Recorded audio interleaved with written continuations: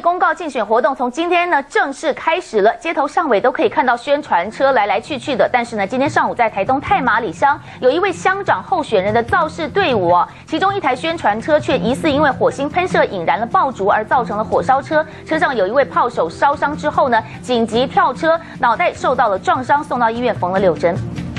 在哪里？送去马街医院我说那个车子。忙着捡拾散落路旁的爆竹残骸，路面上还留着一整片燃烧后的焦黑痕迹。对啊，来清洁啊。哦哦，你这用来造势的宣传车已经被炸得面目全非，原本插在车上候选人的竞选旗帜也都被烧掉了半面。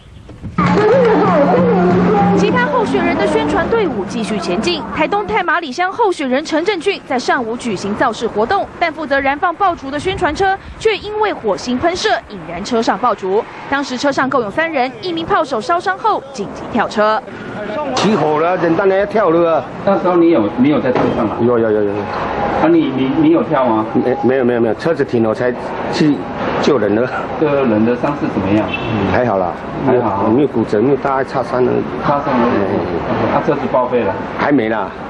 说起火烧车当时的情形，同样也在车上的另一名车手仍是一脸余悸犹存，被爆竹轻微烧伤；另一名车手因为跳车头部受伤，缝了六针，但目前伤势已无大碍。